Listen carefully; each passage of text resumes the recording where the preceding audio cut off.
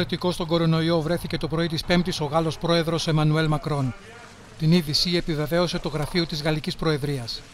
Την Τετάρτη, ο Γάλλος πρόεδρος είχε συναντηθεί στο Παρίσι με τον πρωθυπουργό της Πορτογαλίας, Αντώνιο Κώστα. Σύμφωνα με την ανακοίνωση, ο Μακρόν έκανε το μοριακό τεστ μετά την εμφάνιση των πρώτων συμπτωμάτων. Όπως αναφέρθηκε, θα μπει σε απομόνωση για 7 ημέρες, όπως προβλέπουν τα πρωτόκολλα στη Γαλλία, ενώ θα συνεχίσει να ασκεί τα καθήκοντά του και να εργάζεται εξ αποστάσεως. Ω στενή επαφή του Προέδρου δηλώθηκε και ο Πρωθυπουργός της Γαλλίας, Ζαν Καστέξ, ο οποίος μπήκε σε καραντίνα μέχρι να βγουν τα αποτελέσματα του τεστ κορονοϊού που έκανε.